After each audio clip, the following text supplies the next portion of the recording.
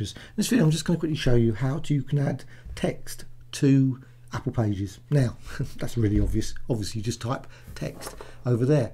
But these designs are decorative designs. So it's a font set from Graphicxtras but of course you could use eh, obviously any other decorative uh, design font sets you can find. So just going to go over here to click text. And now the design's already added. So it's just over here just select the design. You can change, obviously modify it, all the various fonts are available, but the decorative design is pack 32 from Graphicxtras. And once you've done that, you can actually change the color of the design.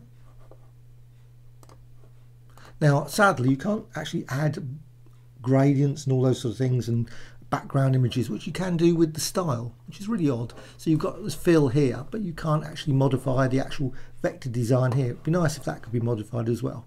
But anyway, you can certainly add a picture frame as well as color fills, gradient fills, and so on and so on.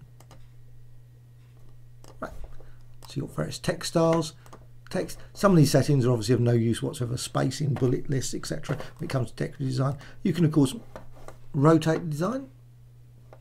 So I'm just going to go to arrange, and I can just quickly rotate the design like that. So you can actually modify the position and of course you can actually again modify the style change the size increase that.